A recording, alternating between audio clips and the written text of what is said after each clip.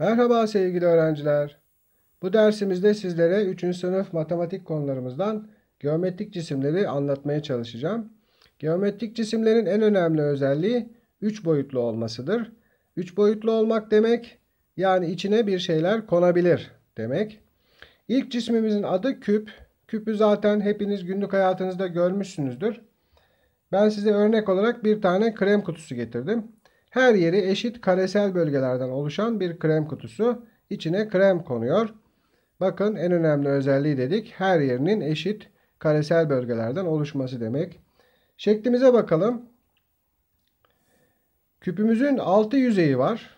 Şu boyalı olan yerlere yüzey diyoruz. Yani şu kenarlara yüzey diyoruz. Köşeler 8 tane. 8 köşesi var. Ve 12 tane ayrıt var. Ayrıtta şu kenarındaki çizgilere ayrıt diyoruz. Saydığımız zaman 12 tane ayrıt görebiliriz. Küpümüzü makasla kesip açsak ortaya şöyle bir şekil çıkar. Şurada görüyorsunuz 6 tane karesel bölgeden oluşan bir şekil ortaya çıkar. İkinci cismimiz dikdörtgenler prizması. Bu cismimizin de en önemli özelliği her yerinin dikdörtgensel bölgelerden oluşması. Örnek olarak ben sizlere bir ilaç kutusu getirdim. Bakın bunun da içine ilaç konuyor.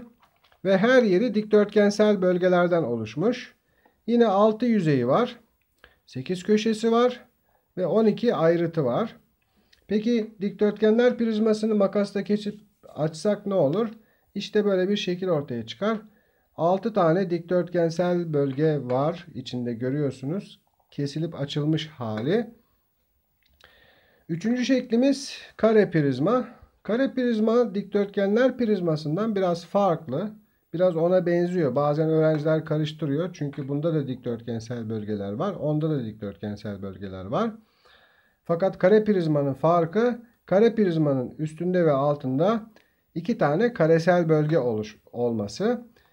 Sizlere örnek bir parfüm kutusu getirdim. Bakın kenarları dikdörtgensel bölgelerden oluşmuş yan yüzeyleri. Ama üst yüzey karesel bölge, alt yüzey karesel bölge. Buna en iyi örnek evinizdeki buzdolaplarını verebiliriz. Genelde kullandığımız buzdolapları kare prizma şeklindedir. Üst ve alt yüzeyleri karesel bölge, yan yüzeyleri dikdörtgensel bölgelerden oluşmuştur. Yine bunun da 6 tane yüzeyi var. 8 köşesi var ve 12 ayrıtı var.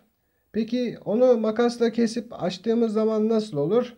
İşte böyle olur. 4 tane dikdörtgensel bölge, 2 tane karesel bölge var. Geçelim diğer cismimize. Diğer cismimiz üçgen prizma. Onunla ilgili bir eşya bulup getiremedim fakat resim üzerinde sizlere anlatmaya çalışacağım. Üçgen prizma denmesinin en önemli sebebi üçgensel bölge olması. İki tane üçgensel bölgesi var. Peki başka ne var? Üç tane de dikdörtgensel bölgesi var kenarlarda. Örneğin bir çadır buna benzer. Çadır e, kamp çadırları buna benzer. Ya da evlerin çatısı üçgen prizmaya benzer. Üçgen prizmanın 5 tane yüzeyi vardır. 6 köşesi vardır ve 9 tane ayrıtı vardır. Şöyle açılmış haline bakalım. Bakın açılmış halinde 2 tane üçgensel bölge var. 3 tane de dikdörtgensel bölge var. Bunu tekrar katlayıp yapıştırdığımızda üçgen prizma olur. Diğer cismimiz silindir. Silindir ise üst ve alt yüzeyleri düz, yan yüzeyi eğri bir yüzeydir. 3 tane yüzeyi vardır ve alt ve üst yüzeyler daire şeklindedir. Sizlere örnek olarak bir e, kalem kutusu getirdim. Öğrencilerin yaptığı bir kalem kutusu. Bakın alt düz olan yüzeyi daire şeklinde.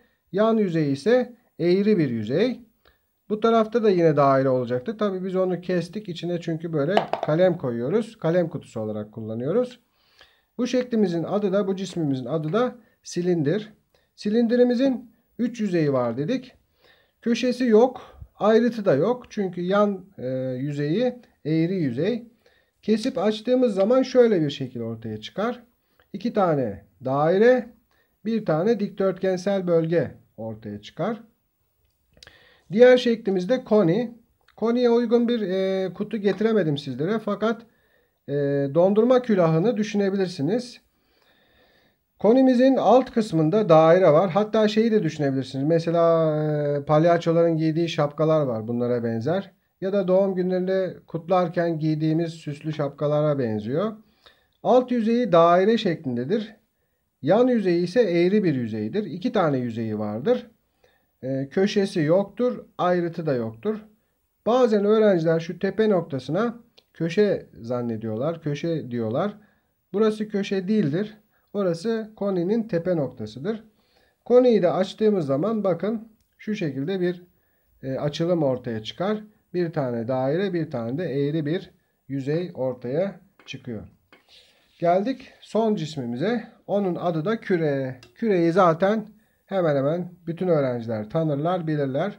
En e, güzel örnek bir toptur. Ya da dünya modelidir. Yüzey olarak eğri bir yüzeyi vardır. Köşesi yoktur, ayrıtı yoktur. Bakın ben size bir küre getirdim, bir süs eşyası. Bakın. Küre e, dik dursun diye altına bir platform yapmışlar. Evet, bir hediyelik eşya. Bakın içine su doldurmuşlar ve küçük bir maket koymuşlar. Üst kısma yani şu alt kısmı bakmayın. Üst kısmı size gösteriyorum. Şöyle yuvarlak bir yüzey. Buna biz küre diyoruz. Bu şekilde e, geometrik cisimleri tanımış olduk. Sizlere iyi çalışmalar diliyorum. Derslerinizde başarılar diliyorum.